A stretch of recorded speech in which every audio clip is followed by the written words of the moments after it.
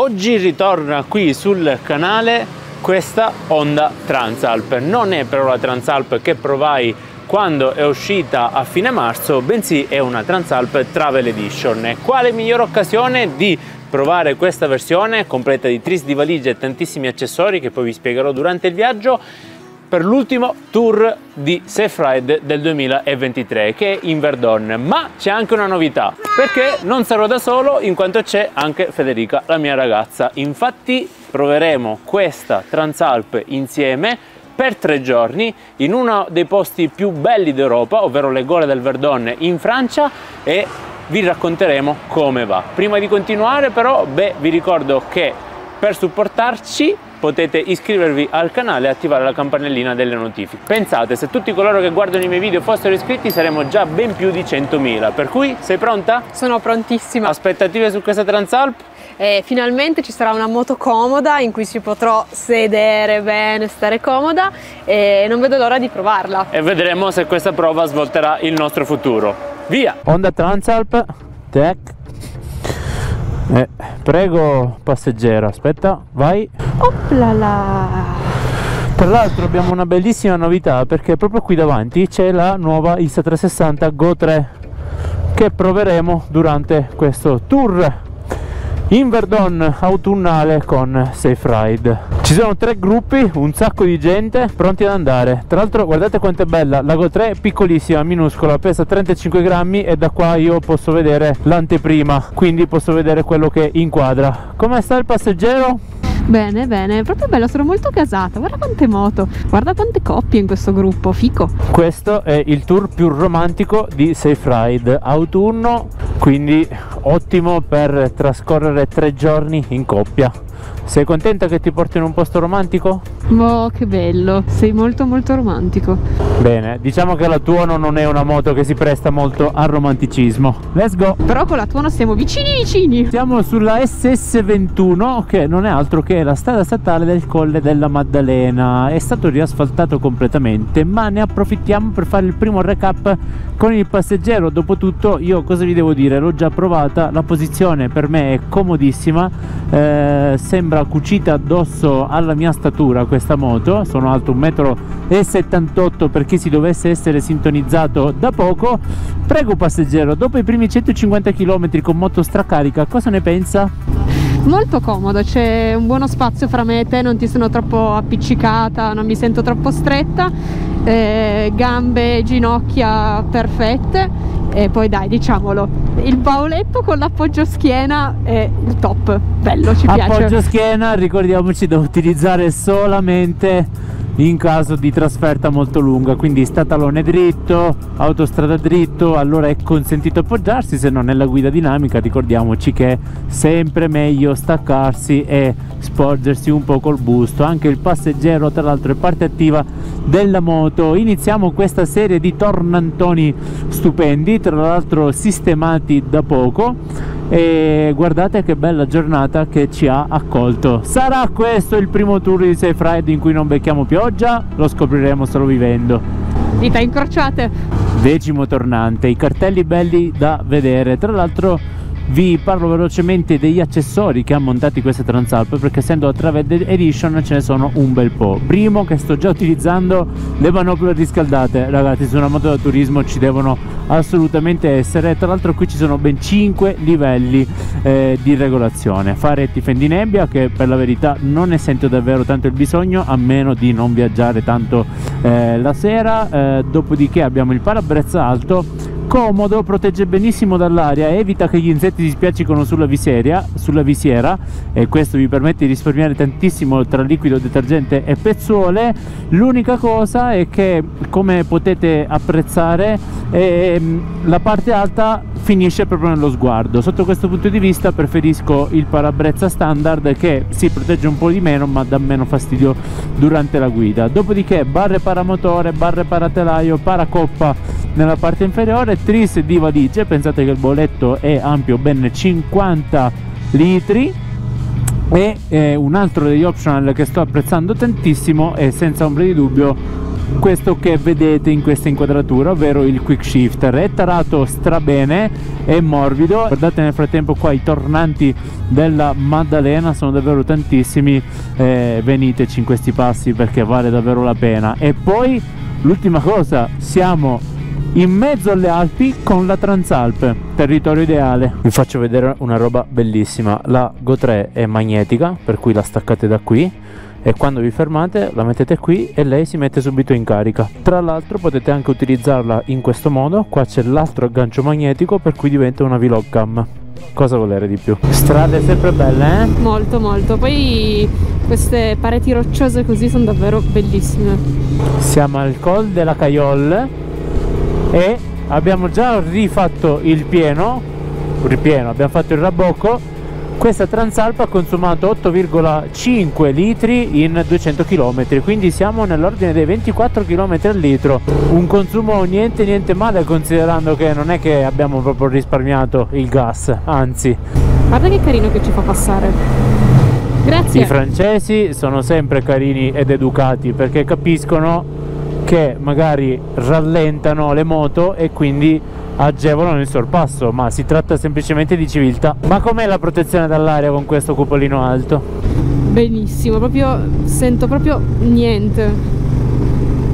Però comunque riesco a vedere il paesaggio riesco a vedere bene avanti. No no anche la posizione è proprio bella.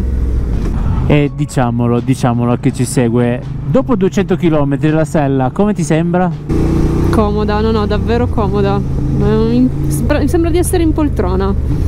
Eh, devo essere onesto ragazzi, effettivamente ho letto da parte di alcuni che dicevano fosse dura, a me sembra di un comfort eh, davvero notevole, cioè non, non farei nessuna modifica eh, proprio alla sella. Che meraviglia di colori. Ottobre ragazzi davvero è uno dei mesi migliori per viaggiare, guardate qua è tutto veramente mozzafiato. Sembra di averla sempre guidata più la guido più mi piace e soprattutto guardate che panorama fantastico splendido davvero. Qua siamo vicino a Castellane c'è davvero davvero da divertirsi. Come si sta lì dietro? sta proprio comodi. Continuo a dire che mali ai ginocchia il sedere è praticamente nullo proprio comodo. C'è anche la possibilità nel momento in cui si voglia fare un po' più gli sportivi di mettersi in assetto d'attacco ed essere un po' più dinamici. Hai proprio tutto lo spazio per poter eh, essere comodi. Una chiara dimostrazione del fatto che quando Honda fa un progetto cura per bene tutti i particolari e non si focalizza solo su un punto che sia solo la prestazione, solo l'estetica, solo il comfort, ma cerca di fare un pacchetto unico che faccia funzionare bene tutti questi elementi insieme. Ci tenevo peraltro a fare una piccola precisazione sul cambio elettronico. Le impostazioni morbido, duro, medio non si riferiscono alla durezza della leva, ma alla risposta del sensore non appena eh, si eh, agisce sulla leva questo perché magari quando sei su strada o in mezzo al traffico vuoi una risposta un po' più veloce quindi lo setti su morbido magari quando sei in fuoristrada che dà il pestone che magari hai anche lo stivale no? da fuoristrada c'è la possibilità di regolare l'impostazione su duro eccoci che Alberto ha fatto il fatidico segnale che tanto aspettavamo io mi metto subito lontana dal bauletto che già mi ha redarguito questa mattina perché? perché i corsi con Safe Ride si possono fare anche in coppia anche perché come vi dico spesso e come si impara anche facendo i corsi con Ride ok il passeggero ma il passeggero in moto è parte integrante nella guida. Confermi? confermo confermo. Adesso devo, sono concentratissima mi butto fuori su tutte le curve così è contento e non mi dice nulla. Perfetto allora non impariamo solo le traiettorie ma vedi si dice di essere un po' più morbidi con le braccia. Ed eccoci qua un po' di piff puff perfetto. Segno di approvazione quello. Tutti i corsi con Safe Ride quindi dal mangiatornanti fino al tour didattico possono essere eh, svolti insieme al passeggero. Ed è una cosa che se andate in moto in due spesso eh, vi consiglio di fare perché si impara tanto e si ha l'opportunità di far crescere anche un po' l'esperienza del passeggero. Questo perché se, se il passeggero si comporta bene dietro la sella in realtà il divertimento non è che raddoppia, triplica perché avete eh, una moto che si muove di meno, il passeggero che fa i movimenti giusti e voi vi garantisco che inizierete a spennellare le curve una dietro l'altra con tanta tanta sicurezza e con tanto margine questo sicuramente eh, permette di divertirsi molto molto di più giusto passeggero? Giusto hai anche un passeggero più contento che ha più voglia di, di andare di uscire in moto no io all'inizio quando hai preso la B&B non sapevo proprio dove mettermi, cosa fare, mi sentivo anche un po' a, non a mio agio, ho paura di imbrigliarti. Quando poi qualcuno mi ha dato due o tre consigli che aveva fatto i corsi di Safe Ride, è stato, mi ha svoltato proprio. Piff, pa!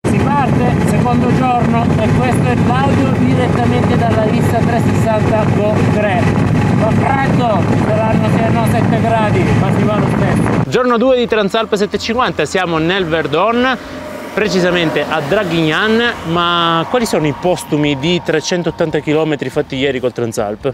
Ma devo dire che non ci sono postumi, dopo la cena, il la nanna di questa notte, questa mattina freschi, freschi come una rosa, nessun dolore, nessun male da qualche parte, ottimo. Nel frattempo vedete la posizione naturale di una persona che è alta 1,78 m e una persona che è alta 1,65 sul Transalp che ci sta comodissimo gambe benadese, postura corretta con le braccia perpendicolari al manubrio e quindi andiamo? Andiamo, bei maniglioni con cui tenersi, ottimo. Lo schienalino nelle Schienalino trasferte? non lo sto toccando, sono dritta, posturata benissimo.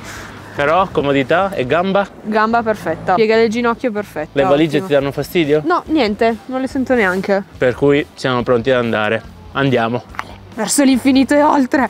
Seconda giornata di Verdon, partiti, oggi siamo nel gruppo verde con Alessio che guida il gruppo, ci sono sette moto per ogni gruppo e ci sono anche dei bei pezzi qui, c'è un ragazzo che ha una tuono esattamente identica alla mia, bello vederla in movimento, c'è una V4 Pex Peak, c'è una S1000R, eh, c'è una ragazza con la Z900, c'è un K1600 è un K1600 no è un R1250 RT per cui oggi tanto tanto divertimento. E vediamo come si comporta questa Transalp in due in guida dinamica sportiva certo che vedere il sole sorgere sul Verdon è sempre bellissimo il paesino che vedete lì sotto è Trigans un paese storico che ha quasi più di mille anni di storia per cui sono posti veramente da scoprire e da visitare questo panoramino è proprio bello. L'ultima volta che eravamo venuti, anche se era giugno, pioveva, faceva freddissimo, ci eravamo rifugiati in questo bar, mi sembra. Anche se adesso sembra molto abbandonato. No, forse sì, sì, era questo, era questo. Si entrava di là. E perché faceva freddissimo, era tutto grigio, non si vedeva niente. Adesso è bellissimo, fantastico. Lì è il gruppo che fanno i pazzerelli e cercano di farsi la foto. Lì c'è un Toto Rider selvatico che fa le foto. E ciao ciao! Gole del Verdon sempre belle, eh? Ma dei panorami pazzeschi. Non c'è proprio nessuno, nessuno. Cioè, ci siamo solo noi. Perché sospendere l'assicurazione? Quando si possono si può godere di questi panorami no? anche in doppio. Anche in doppio assolutamente. Poi il tempo adesso è davvero magico bellissimo cioè ormai siamo arrivati a un punto in cui quando inizia la stagione piove sempre e quando invece sta per finire conviene davvero magari prendere un abbigliamento un po' più pesante anche se devo dire con questa Venturing 3 di Clover e una felpetta termica sotto io mi sto trovando benissimo. Sì giusto un pelino di freddo la mattina però grazie al cupolino alto mh, mm, prendo pochissima aria tant'è che viaggio spesso con la visiera aperta e non si abbassa neanche a causa dell'aria proprio perché c'è tanta deviazione situazione e così come il passeggero credo che si trovi nella stessa situazione. Confermo. Questo che vedete alla nostra sinistra invece è il lago di San Croix e noi ci eravamo fermati qui eh, due anni fa con la F900XR a mangiare sotto quest'albero perché era uno dei pochi posti in cui era protetto dalla pioggia. Guardate che bello, il lago di San Croix che tra l'altro è enorme, gigantesco e il Verdon è uno degli affluenti. Panorami continuano ad essere fantastici gole profondissime. Asfalto guarda qua anche io non capisco che questo è un asfalto buono. Tutto fatto. Eccolo lì quello lì è il fiume del Verdon. Adesso mi tiro anche un po' su visto che Toto ha un po' di vertigini. Eccolo lì laggiù laggiù. E invece nascosto dietro queste curve qua c'è il lago di Santa Croix comunque in questi viaggi qua in cui si sta tanto seduti qui si pensa anche alle varie moto provate alle, varie, alle tutte le moto che il Toto ha portato a casa.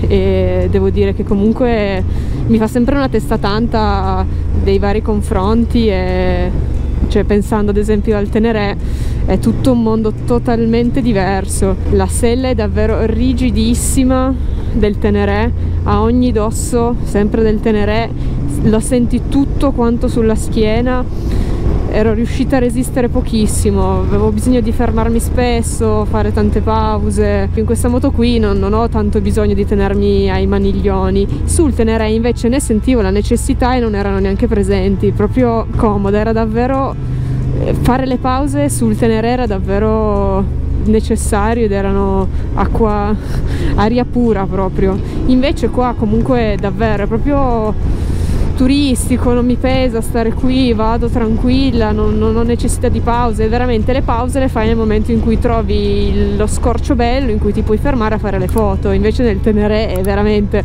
ti prego quando ci fermiamo la prossima volta. Posti così dove ragazzi? Questo è lo sbocco del Verdon sulla Guy Saint Croix, un posto veramente bello. Siamo arrivati alle Gorges du Chan, come ci si diverte con questa Transalp. L'unica, l'unica criticità, sapete qual è? Il cavalletto centrale, perché tende un po' a grattare, però per il resto è davvero una bicicletta, anche a pieno carico, col tris, con eh, il passeggero dietro, è una moto molto molto divertente, appunto versatile. E devo dire che più andiamo avanti più le moto versatili mi danno quel fascino che me ne fa apprezzare tanto perché alla fine rispetto ad avere una moto specialistica fatta per fare molto bene una sola cosa è vero che non riesce a fare al top quella singola cosa ma riesce a fare tutto e questo secondo me vale molto di più di avere una moto perché per avere una moto che fa bene qualsiasi cosa dovresti avere almeno 3-4 moto.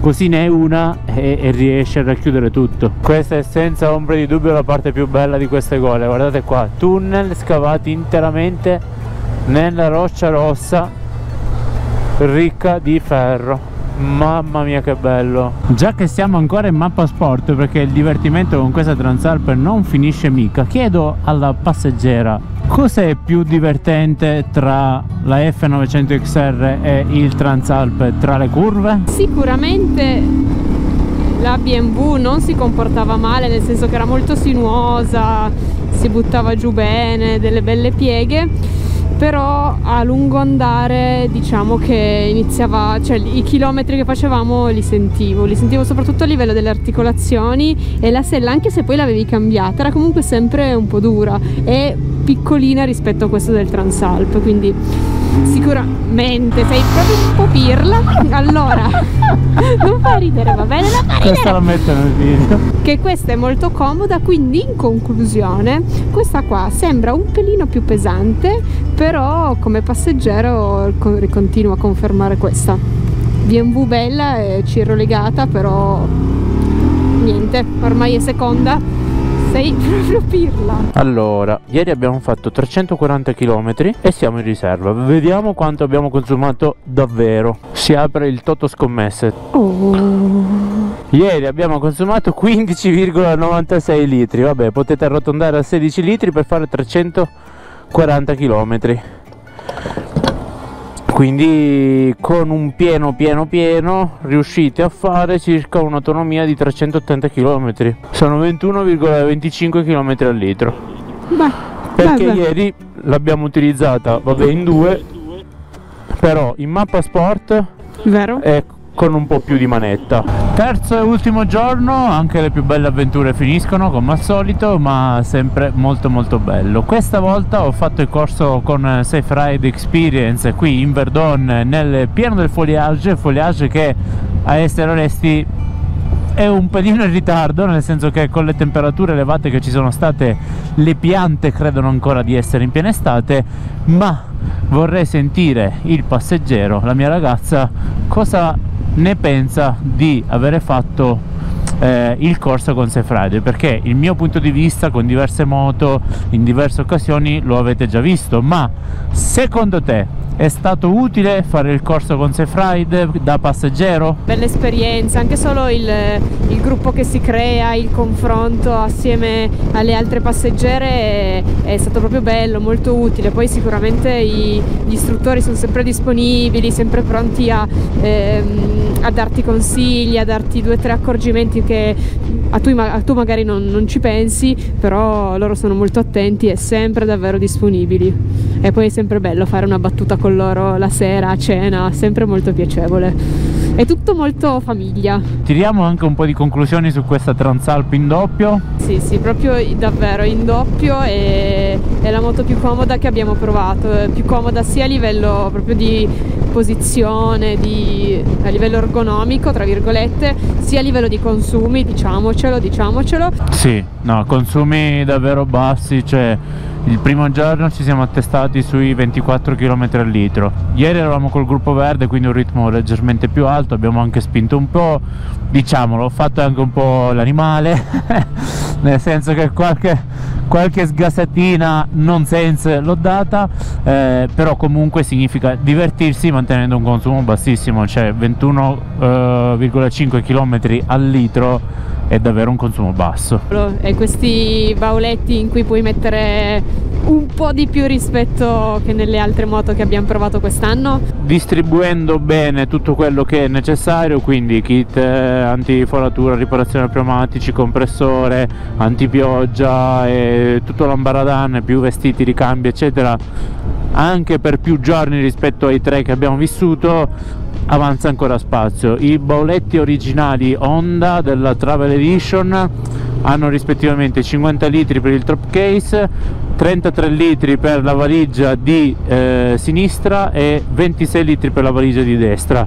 Spazio sufficiente insomma per una coppia distribuito bene fai anche una settimana tranquillo. Spero che abbiate avuto eh, una valutazione completa di quello che è il comportamento di questa Transalp in doppio un video che forse sul tubo un po' mancava nel senso che sì bello abbiamo fatto tutti i test da soli ma fa parte comunque dello spirito del Transalp quello di far scoprire il mondo a tantissime coppie per cui direi che è la moto giusta. Qui c'è la predisposizione volendo per la USB cosa personale io la usb sulla moto non la uso preferisco portarmi una power bank che posso usare anche quando sono fuori dalla moto ed è più flessibile però ripeto um, scelte personali. Per me la usb sulla moto non è assolutamente una cosa fondamentale. E niente per questo video è davvero tutto. Andate a seguire gli amici di Safe Ride Experience sui loro profili Instagram, Facebook, TikTok ma anche qui su YouTube